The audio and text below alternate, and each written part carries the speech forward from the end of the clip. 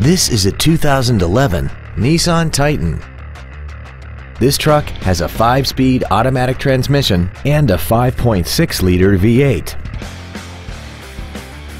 Its top features include a double wishbone independent front suspension, a limited slip differential, traction control and stability control systems, aluminum wheels, and a tire pressure monitoring system.